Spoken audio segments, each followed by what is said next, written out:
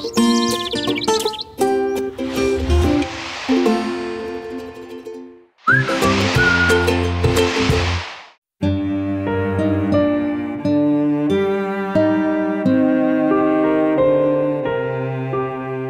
شيء ما كنت يعني كانت نفسيتي صفر. آه، بعدين الحمد لله يعني صار يعني أول شيء فضل الله عز وجل ثاني شيء أهلي وإخواني أكثر شيء ساعدوني يعني. الحمد لله يعني.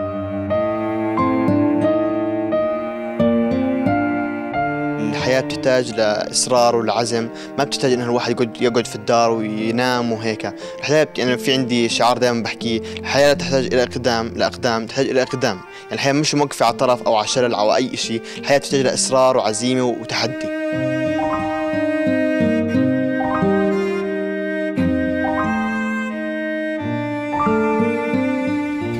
بهالكلمات المعبرة روى الشاب المميز جراح قصة فقدانه لساقه. مع مناقشة عدد من القصص الواقعية لقهر كابوس مرض السرطان بكل شجاعة بحضور عدد كبير من المرضى وعائلاتهم في القاعة الزرقاء في مركز الحسين للسرطان.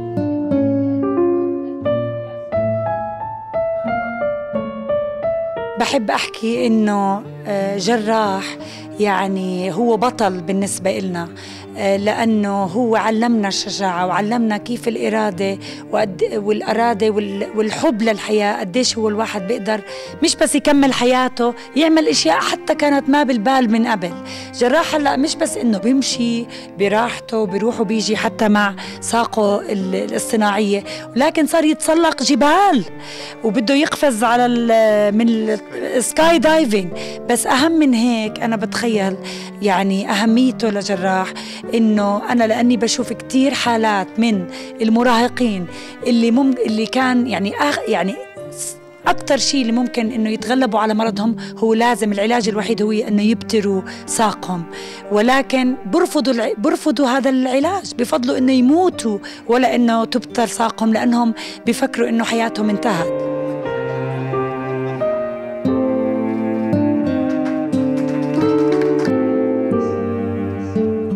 شروق سارة جراح ونصرة. لخصوا تجاربهم برسائل تفاؤل وأمل بحل لغز التعامل مع هذا المرض. كرسائل جديدة في حب الحياة وتحديات ليست بالسهلة واجهوها ولكن إرادتهم كانت أقوى من المرض.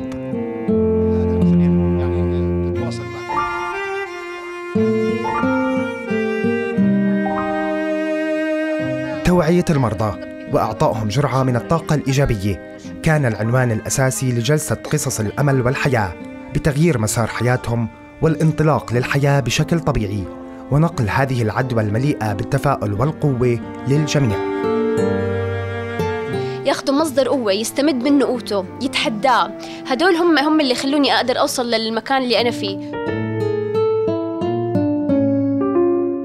ما تخلي الحياة توقفك على شيء والحمد لله يعني مو في عزيمة وإصرار والحمد لله قدرت اعدي هالفتره يعني. أنصح كل ست حتى لو راحت فحصت ولقت هذا الإشي ما تخاف ولا تهاب. إشي طبيعي يعني ما فيها هذا. كل إشي له علاج.